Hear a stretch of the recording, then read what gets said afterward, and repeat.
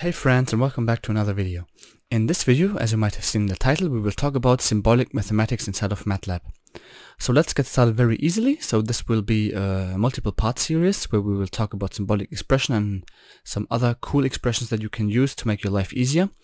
We will make a first easy step and jump into fractions. So here you can see a variable a has been defined, which is nothing else plus one third plus one sixth plus two thirds.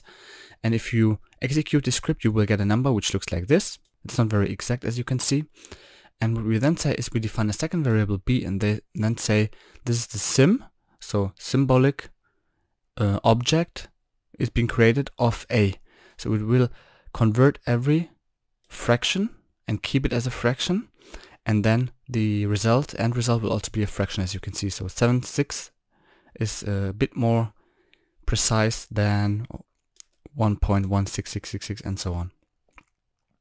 What you can also do, but uh, which is a bit tedious to do, is to define a variable c and then say you take the sym of this expression plus sym of this expression plus sym of this expression, which will give you the same result, but it's a bit tedious to do.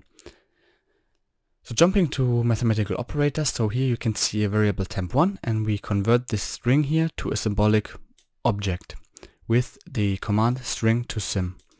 And what we then do is we take the square root of y plus 5 and multiply it with itself and save it into a variable temp1 opt. What this will do is you see that y plus 5, the square root of it is nothing else than y plus 5 to the power of 1 half.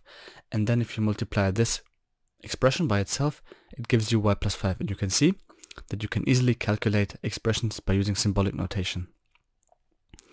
What you can also do is assign variables with syms, so make your life a bit easier instead of saying x equals sym of e, y equals sym of f, and so on. You can define a function which says f equals e times x squared plus gx plus c, and then you're good to go. So that was a brief introduction to symbolic mathematics. In the next video we will talk about very cool expressions, how you can simplify and prettify your equations by using predefined functions. So with that being said, Make sure to keep engineering your mind and see you in the next video.